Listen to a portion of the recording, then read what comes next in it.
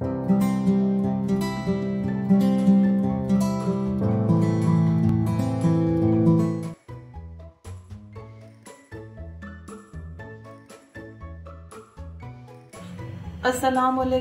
everyone hope you all are doing great आज हम बहुत ही मज़ेदार से पास्तरामी सैंडविच बनाएँगे और बहुत क्विक बनते हैं और बहुत मज़ेदार बनते हैं। तो एक सैंडविच बनाने के लिए मैंने इस थ्री स्लाइसेस लिए हैं। और इसकी सबसे पहले तो आप यूँ करके सारी साइड्स काट दीजिए। बहुत जल्दी ये सैंडविच बनते हैं। आपने बच्चों के स्नैक बॉक्स में स्कूल के लिए देने हैं। घर में अचानक से कोई मेहमान आ जाए तो आप फटाफट ये बना सकते हैं। स्लाइसेस काटने के बाद साइड्स इसकी स्लाइसेस की, उसके बाद हम नेक्स्ट काम करते हैं। स्लाइसेस की साइड्स काटने के बाद ये जो चीज़ स्लाइस है, ये आप इसके ऊपर रख दीजिए।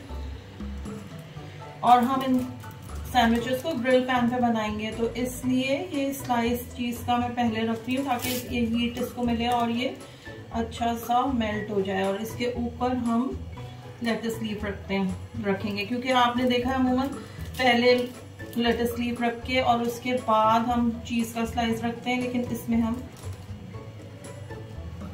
ये बाद में ऊपर रखेंगे, ठीक है? इसके बाद ये मैंने पास्ट्रामी स्लाइसेस ले लिए हैं। ये आप इस तरीके से, अब आपकी जितनी मर्ज़ी है, आप उतने ज़्यादा इसको रख लें, यूँ करके फोल्ड करके। इसको अपने स्लाइस के ऊपर रखते जाइए।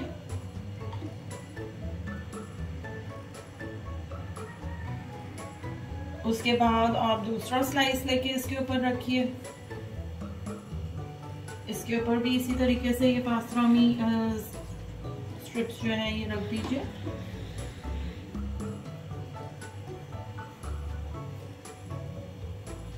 और इनके ऊपर थोड़े से टोमेटोज रख लें अच्छा आप चाहें तो क्यूकम्बर्स भी रख सकते हैं इस सैंडविच के अंदर।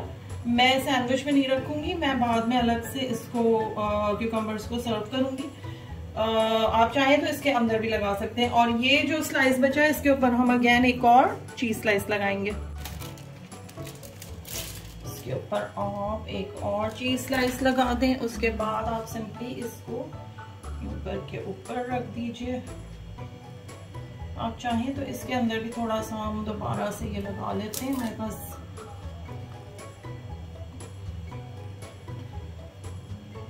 और बस इसको आपने यूँ करके सैंडविच को एक के ऊपर एक यूँ रख के इसको थोड़ा सा प्रेस कर दीजिए।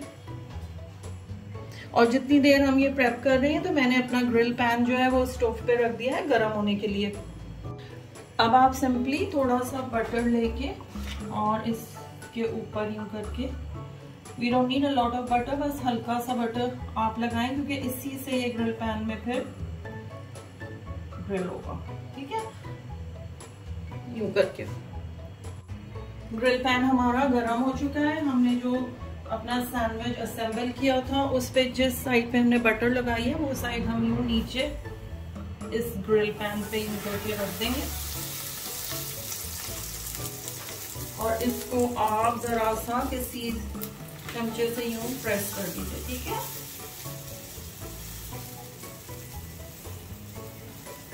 फ्लेम थोड़ा स्लो रखिए वरना जले जले से मार्क्स आ जाएँगे।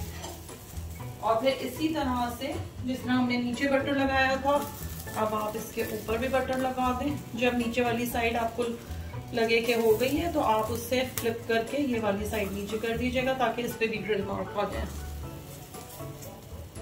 ये देखें, एक साइड से ग्रिल मार्क कितने अच्छे आ गए हैं तो मैंने इसकी साइड चेंज पलट दी है, और इसको दोबारा आप हल्का सा प्रेस कीजिए। It hardly takes a couple of seconds कहूँगी मैं, या समझे तीन चार सेकंड्स में ये फ़ौरन से रेडी हो जाता है। बस ये दोनों साइड जब आपके ग्रिल हो जाए तो आप इस सैंडविच को सर्व कर दें। हमारा सैंडविच दोनों साइड से बेहतरीन सा ग्रिल हो गया है। अब आप इसको सिंपली बीच में से कट करके और जिस भी प्लेटर में आपने सर्व करना है, आप इसको सर्व कर दीजिए देखें किस कदर शानदार लजीज सा हमारा झटपट सैंडविच तैयार हो गया है मैं इसको प्लेट आउट करके आपको दिखाती हूँ। ये देखिए, हमारे सैंडविचेस बिल्कुल रेडी हैं पास्ट्रामी सैंडविच मैंने इस तरीके से इसको प्लेट किया है। आप जैसे आपकी मर्ज़ी आए, आप वैसे कीजिए। थोड़े से फ्राइज थोड़े से क्यूकम्बर और साथ में ketchup chilli sauce what you like I hope आपको ये क्विक सी रेसिपी अच्छी लगी होगी, आप इसको ट्राई करेंगे। वीडियो को लाइक कीजिएगा शेयर कीजिएगा। अगर आपने अभी तक चैनल सब्सक्राइब नहीं किया है तो इसे सब्सक्राइब कीजिएगा। ज़िंदगी रही तो आपसे फिर मुलाकात होगी। Take care of yourself अल्लाह हाफिज़।